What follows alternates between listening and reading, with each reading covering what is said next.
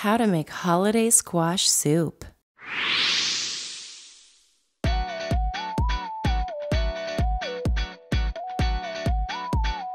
First, add 2 cups of vegetable broth. Next, add 2 cups of cooked and peeled butternut squash. Then add 1 4th a cored apple. Next, add 1 4th of an onion.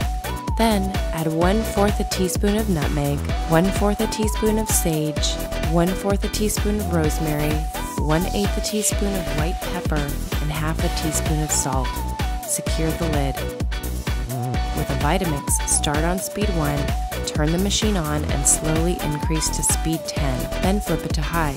With a Blendtec, press the soup button three times to make it very hot. Use the tamper to push the ingredients into the blade. Let it run for 6 to 7 minutes or until the heavy steam comes from the lid. After you see the steam coming from the lid, turn the blender off or slow down to speed 4. Remove the lid plug and add 1 4th a cup of heavy cream to the soup. Replace lid plug and let it run on speed 4 for another 20 seconds.